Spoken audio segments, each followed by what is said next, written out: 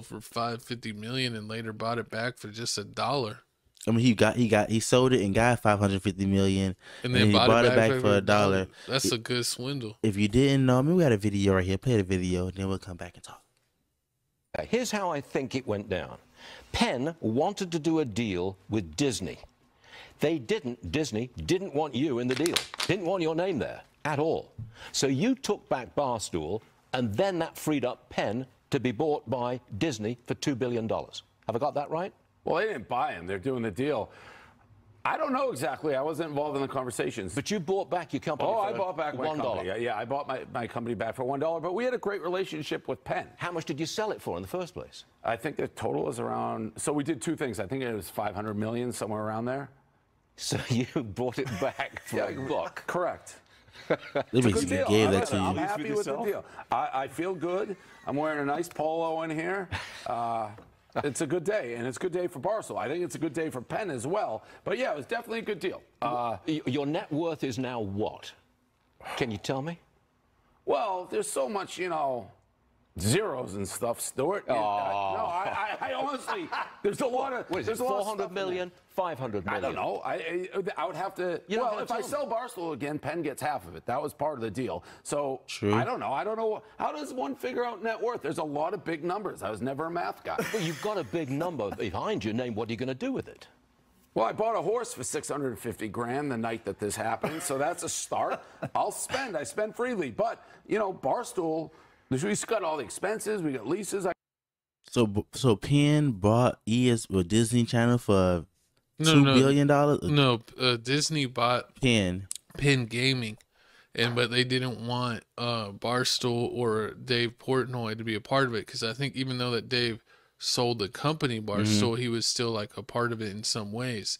So they basically Penn sold him back the company for a dollar, so that wouldn't be included in the purchase. So Disney is just purely buying that Penn Gaming, but I'm not familiar with uh, Penn or Penn Gaming if that's like a group or like a, uh gaming house that makes certain games. I hadn't really heard of that. I do like gaming and check it out sometimes, but I'm not a super, uh, you know, I guess you could say nerd or just super informed whenever it comes uh, to the gaming realm. So put it down in the comments if you know uh, more about Penn Gaming. True, and I mean, I guess it's what it is. I mean, when you're an independent company and you want to talk all crazy, it's the price you got to pay. People don't want to do business with you. The the fact that they they were willing to, they were willing to only what they got. They got two million. What they got? What Disney bought Penn For two billion. for two billion. So so really, they really bought them for a hundred, one point five billion billion because they gave back. They basically lost half a mil. They I mean, they still paid two billion. they paid They two didn't, they didn't lower the price. It's just that they didn't want that associated with their brand. So they're like disconnect this from like So the get the package you're billion. selling us. And so they still got the two billion. But I mean, you. But I'm saying like you, you pay, you paid the fifty five million dollars. So now you negative fifty five million dollars. Oh yeah. But then you win two oh, billion dollars. So basically, you you got one point five billion dollars.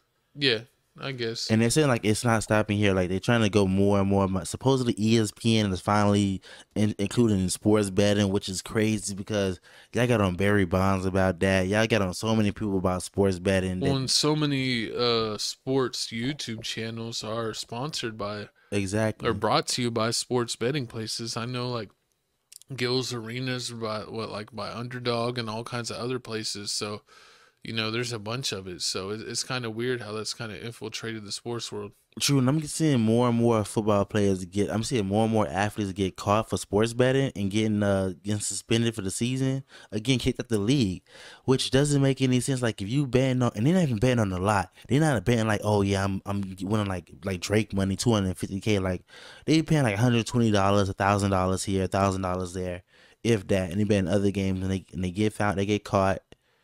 It's just too it's much. really not worth it for them to be betting like that. But people like to bet, and if you're not supposed to, it can become a problem. this is gonna feel just like the whole college football thing. Like when all the college football players back in the day, they couldn't couldn't make any money off their name and off their rights. But now, now with the whole I think IPA or whatever it's called, they can make money. Like I just heard uh, that Reese girl, the uh, the girl- Angel Reese from Angela. Reese. She has like five or Angela six Reese. NIL deals. She has five or six like like five Oh, or yeah. ten deals.